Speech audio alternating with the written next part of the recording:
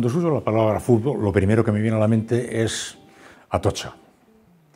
Infancia y acompañado de un gran montón de sensaciones de todo tipo.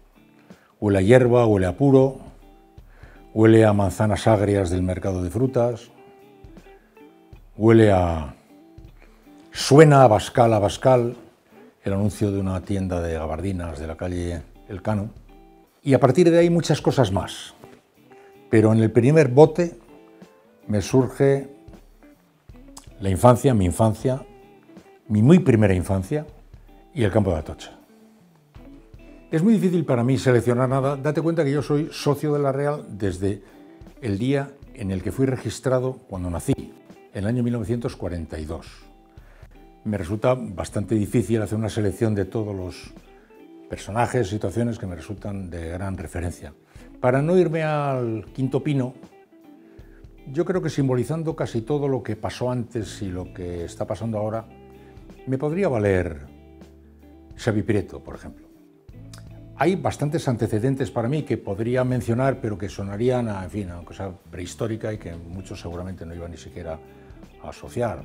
Ontoria, un recuerdo que tenía yo de chico, o muchos otros.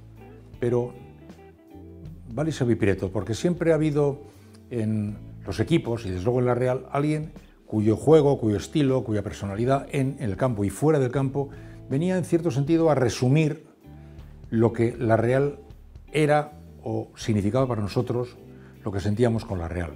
Puede haber Xavi Prieto. Ahí hay un punto de discreción, de sencillez, de señorío, de clase, de fidelidad, que creo que puede valer muy bien como, como respuesta. ¿no? Yo no sé cómo soy como seguidor de la Real porque lo tengo tan asociado a mi vida entera que está muy relacionado con cómo soy en general. La Real y yo estamos juntos desde el primer instante de mi vida. Eh, forma parte de mi paisaje personal, emocional y sentimental desde siempre. Más allá del propio juego, ¿eh? formando ya parte de mi manera de pensar, de sentir, de, ver las cosas. Sigo con mucha, eh, con mucha emoción y con muchos nervios la peripecia de la Real. Podría decir que me gusta mucho menos el fútbol que la Real. Me interesa mucho menos el fútbol que la Real Sociedad. Y cada día que pasa, me interesa más la Real Sociedad. Y sufro más con la Real Sociedad. Y me cuesta más seguir los partidos de la Real Sociedad. Porque si gana, temo que deje de ganar. Y porque si pierde, sufro porque está perdiendo. Y porque tenemos una extraña afición a meternos goles en la propia puerta o a que nos metan un gol en el último minuto. En fin, me parece que sufro más que lo que solía antes sufrir, que debe ser por acumulación de cariño, por acumulación de años y años de cariño, y curiosamente en paralelo a un cierto desapego del fútbol. No mucho, ¿eh? Un cierto desapego del fútbol. La Real Sociedad forma parte de, de, fin, el paisaje sentimental de mi vida en todos los capítulos. Los equipos tienen bastante costumbre de guardar en la memoria ¿eh? las heridas de las grandes puñaladas. ¿no? El Atlético de Madrid nunca olvidará un gol que le metió un jugador alemán en un último segundo. El Deport perdió una liga en un penalti eh, que, que, falló, en, que paró el portero de Valencia en el último segundo. El Madrid perdió dos ligas en Tenerife, pero el Madrid procura recordarlas menos. Pero los equipos tienen una cierta afición a guardar en una vitrina ¿eh? para hacer un campeonato de cicatrices, a ver quién tiene la cicatriz más terrible.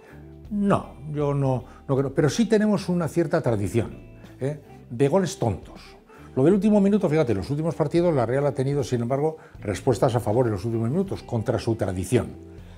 Porque sí ha tenido una cierta tradición. Yo más que de goles del último minuto, goles tontos.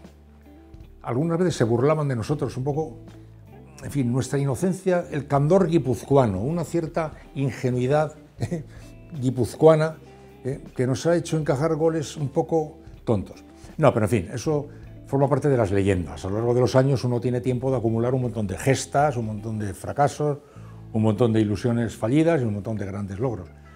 Pero no, no, yo no sería muy aficionado a acuñar ese término como empezando a, sufrir. A los equipos les, les, gusta mucho hacerse los sufridores. ¿no? Yo reconozco que me hace a mí bastante gracia cuando los que sufren son los más poderosos. Ahora, por ejemplo, el Real Madrid se pasa el día llorando porque se siente víctima de la persecución arbitral. En fin, cosa realmente cómica. Pero no, no hagamos eso. La Real es una realidad sociológica, deportiva, demasiada envergadura como para ir ahí pegando, en fin, así cosas lastimeras por ahí, llorando por las cunetas. Mucha gente se pregunta cuál es el secreto de esta enorme fuerza del fútbol, su propagación, su importancia a todos los capítulos. Es muy difícil saberlo, ¿no? No sé, hay quien dice que nos conecta a nuestra infancia y que consigue que a lo largo de los años pues, perpetúa nuestras primeras infantiles emociones, nos permite ser niños hasta el último segundo. Yo no lo sé. En el fondo es un poco misterioso.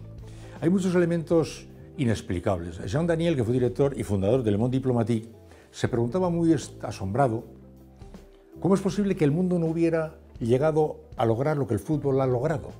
El fútbol ha logrado que dos equipos de dos culturas distintas, de dos mundos diferentes, uno rico y otro pobre, uno de una religión, otro de otra religión, de universos absolutamente diferentes, acepten un código y un reglamento. Y que un árbitro dice mano y aceptan y un árbitro dice penalti y lo aceptan. Y salvo pequeñas excepciones de protesta, se acepta con naturalidad la decisión cualquiera. Y juega Suecia contra Irán o Irán contra Irak. Y el córner es el córner y la falta es la falta y la gente lo acepta. Mira, es curioso que el mundo no ha logrado pactar, convenir, un pequeño juego de reglas que le permita vivir en armonía pacífica, cosa que ha logrado el deporte, por ejemplo el fútbol. Él se preguntaba un poco asombrado a qué era debido que el ser humano para jugar se pusiera tan serio y luego fuera capaz de no ponerse serio cuando estaba en juego la vida. ¿no? no lo sé, pero es un fenómeno extraordinario. Ha llegado a ser un poco el sustituto equivalente de las religiones. Los estadios son las antiguas catedrales, las, las concentraciones son las antiguas concentraciones de fe, los seguimientos son los seguimientos de las antiguas adoraciones. No lo sé, es muy simbólico, es muy emocionante y luego que el juego es muy divertido, ¿eh? pero no sabría explicar por qué.